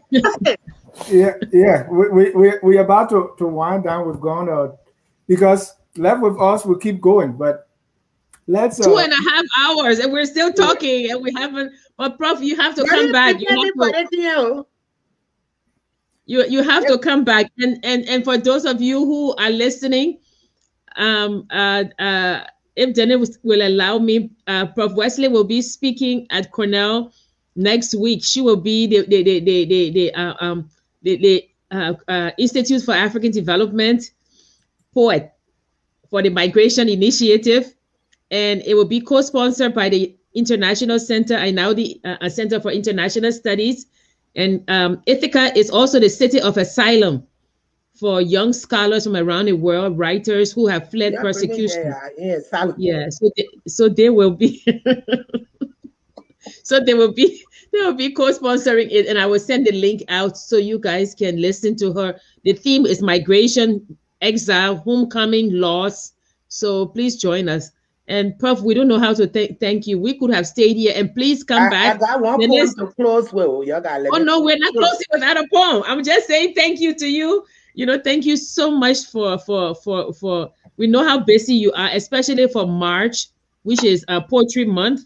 Oh we yeah that I, and then i have a i have another i have two is three events two events other than and cornell. I have if you miss this uh, if you want to see again you got to register for these. Cornell you have to register. You got to let them know that. Yeah i'll, I'll okay. put the link up. Yeah okay and on the 23rd, I have a presentation for Penn State Alumni Association, the Greater Penn State Alumni Association. They want me to come talk about the theme, and they want me to talk about everything and my joining, my personal scholarly joining to this point. Okay. So I will be doing a little bit of reading, a little bit of talking, and then we'll do question and answer and and they usually do a good job. That Big Penn State, their alumni association, invited me to be their virtual speaker and for the virtual speaker series. And on the 31st, I have something else with uh, Elizabethtown University. I don't know. I forgot the title, but all these these are already being advertised since February. Yeah. Yes. And so we'll, we'll yeah. So, yeah. So yeah. So so read the poem uh, uh, Prof, let's let's we can we can let you go without. If you bring me again, I don't want to talk about my poetry. I want to talk. I want to do um a Zoom. Uh, your I can use the literary hour to do writing workshop. We do a writing workshop right on this show. We have to write, write poems and submit them, and then we critique them right here and, and, and we can pick up maybe five, six people to be live with me. So we do a workshop so students watching will know how to critique their own poems. I always tell young people that my throat getting dry. I always tell young people that if you neglect writing workshops after you graduate and go into life, you will not find anybody who will waste their time editing your work. So you need to that, that, would be wonderful. We look forward to that. Yeah, that's what we do. We get yeah. five, six people submit their work, get approval, and then they will be on and quick. So we show them how they critique one another, and then the other people can be in the background asking right. questions and learning. But, so if you are listening to us, please uh, get to know, get prepared, and uh, we're going to get you the date and time for this writing workshop with Dr. Wesley. Let's go, Prof. You can read your, your last. Uh, yeah, let me read my last. Point, and we're going to be closing for the night. Yeah, let me. Which is it? When is it? Which one is it? Because I'm running out of gas. Okay. okay. Okay. At this point, I want to read it because it's similar to the poems in the first the book goes backward. It goes from newest to oldest. And so it's like it reminds me of Charles Soldier or any of the other ones. But it's a little lighter tune. We know that Dennis one only good thing is an American now. You know, Americans are still so why are your poem so depressing? I'm like, sorry, baby. but that's the truth. Okay, let me read praise song for my children. Yes. Yes. I want to dedicate to all my children who are graduating all around the world, to all the young Liberians, to my own children. The book is dedicated to dozens of people. The names, you saw the names, Jackie? Yeah. Yes. Yeah. Okay. Yes. Praise song for my children. Let me be your mommy water, your river G, crossing you into old Grebo country. After the hills gave way, after the truck slides through mud and rocks, through dangerous muddy ditches, along Zwedru's lost forest, in search of our father's homeland. Let me be your mama Africa, your mama that grew out of old streams of old rivers from Terebo to Karoken, all the way to Tugbakeh, where after so long, only small roosters remain in a town that used to be ours. Let me come to you at dawn, my children, my calabash wet from the early dawn's water fetid run, my lapa wet from the brush, from the cry of old pepper birds, the owls howling, from the old footpath lost to the wanderer's feet. Let me come to you bearing tears on my face after the war, after the villages have crumbled under the weight of grave hate.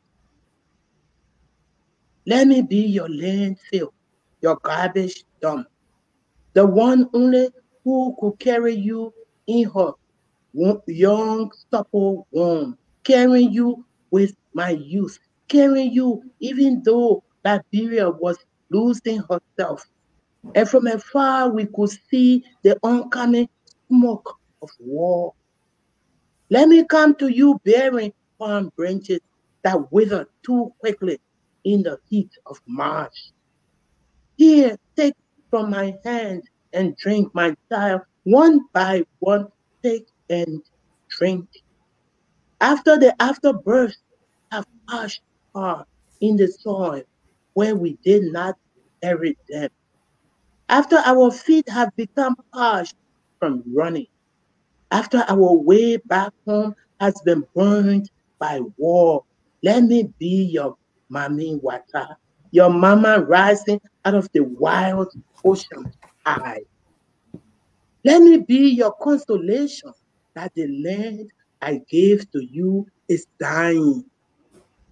I am becoming an old woman now, my son. I am becoming my mother and her mother's mother. I am becoming the ghost of my mother. I am becoming Ai, bow-legged. I am becoming fire and rain. I am becoming Debo. I am becoming the water bearer. I am becoming the calabash that was not shattered in the shattering. Let me sing to you, my daughter, you who have never known where we come from. You who will never know your mother's tongue. You who have become the metaphor of lost warrior who were captured by war.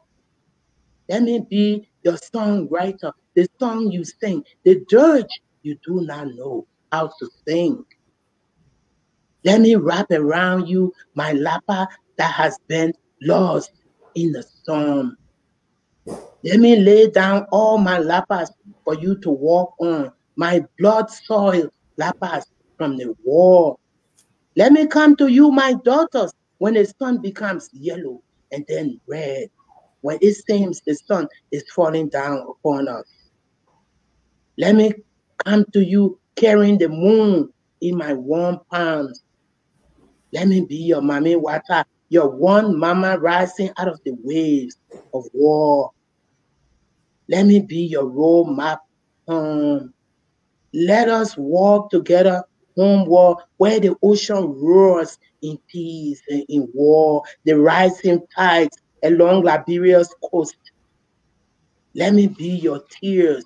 Let me be the Mesurado.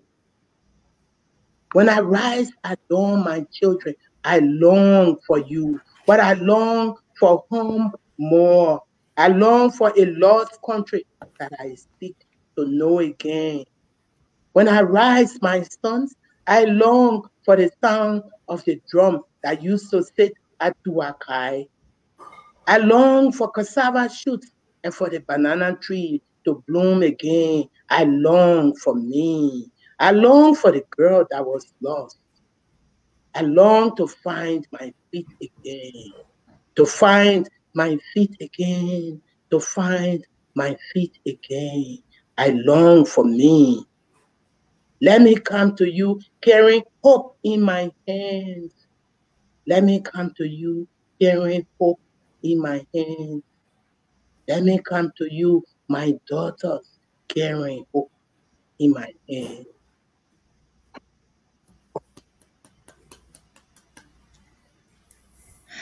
Wow. We could stay here all night, but as they no, say, it's time to go. Oh, yeah, it's time to go. Jackie? Yeah. Thank you, Prof. You you've you've brought hope in your hands, and we don't know how to thank you. We are we are just so blessed to have you as one of Liberia's own, and we thank you. And we we we um yeah, and we pray that one day you will write the